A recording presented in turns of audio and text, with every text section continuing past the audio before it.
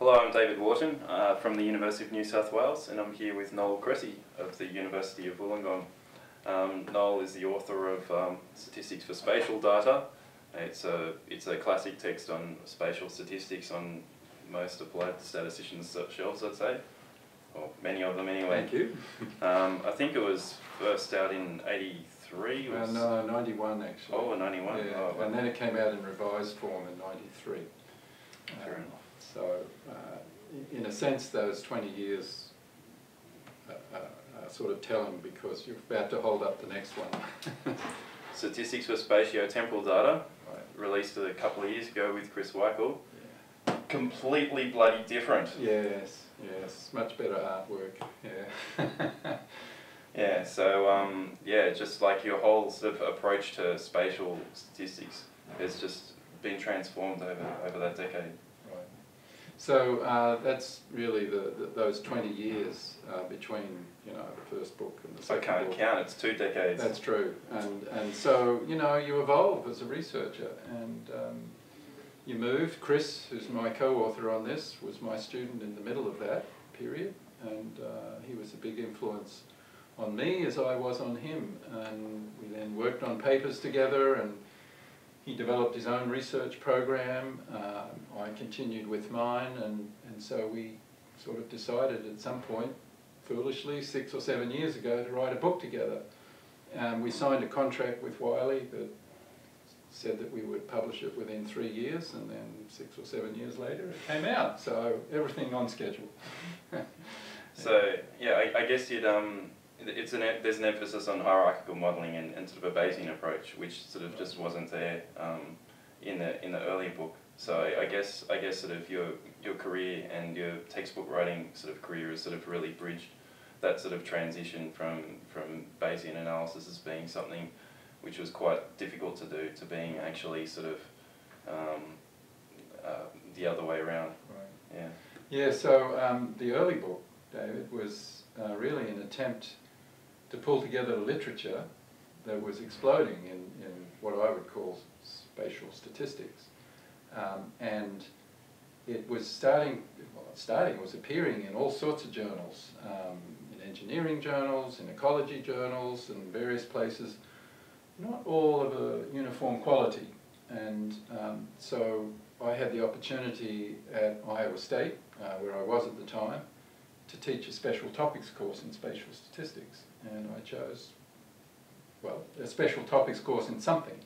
And I chose spatial statistics because of, uh, of a background that I had from uh, PhD days of looking at geostatistical data, random set theory and things, but never having done anything of a great uh, impact in the area. I just thought it's time for spatial statistics to become more statistical. And um, while that early book is 900 pages, and I don't recommend anybody read it from page 1 to 900, what I tried to do was actually establish a notation and demonstrate to the statistics community that they weren't all that far away from being able to do spatial statistics themselves.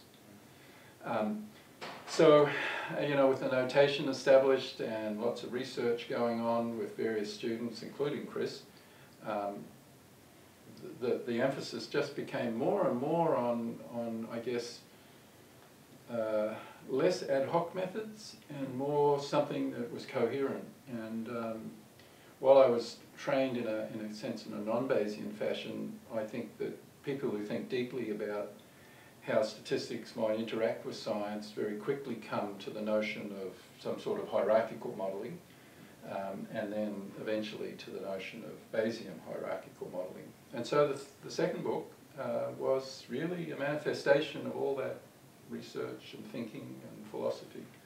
And we wrapped it up into about 670 pages. Fair enough. yeah. Yeah. So, is there anything from the first book that you still use? Oh yeah, yeah. I get into that book a lot Okay. because it was written um, as a way to establish not only notation but really to talk about what other people have done in other literatures, but from my point of view, from my notational point of view. And so when I uh, can't remember something that was going on, I often get into that section Um, and I wrote the first book, um, Statistics for Spatial Data. Um, uh, some, it, was, it was quite uh, what I would call voluminous because I wanted each section essentially to stand alone. So there was a quite a lot of repetition of words, you know. So if I got into section 6.1, I did not have to go back and read chapters 1, 2 and 3 in order to be able to understand section 6.1. And I think that's why it's had good legs. Uh, uh, it's been out 20 years, it's still in print. You know, it's still selling a couple of hundred copies a year. Um, so I'm really pleased. Um, my publisher keeps bugging me for a second edition and I tell him to push off. You know, I think that was just that was just my baby in 1991, 93 when the revised edition came out. I think uh, to do a second edition would require, well in fact I don't think a second edition is possible. I think probably three books are needed uh, because of the explosion of the literature. Yeah, right. yeah. yeah. So you said that it's quite, it seems quite natural to approach uh, the, these sort of problems as from a hierarchical framework. Right. Um, and are you sort of thinking a Bayesian hierarchical framework as being sort of the natural sort of way to go in this sort of area? Um, I think hierarchical first, so I think of a hierarchical model, uh, and then I think, well, do I want to go all the way and put priors on my parameters, or am I willing initially to realise I don't have a lot of information about the priors so do I want to estimate the parameters? Um, there's been too much discussion about well, am I Bayesian or not. I think the issue is, am I a hierarchical modeler or not? Um, I think we're in a 21st century now of conditional probability modelling. That is the essence of hierarchical statistics.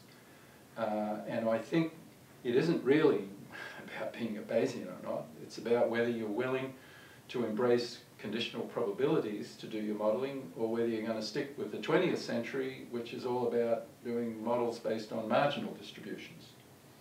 Um, and so that's quite a controversial thing to say, but, and, but I, I think it needs to be said.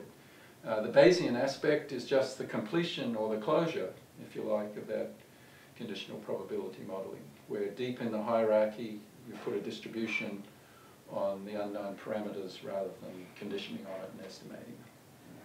Fair enough. Right. I think that's probably a great way to finish. So um, thank you very much. It's been a it's been a pleasure.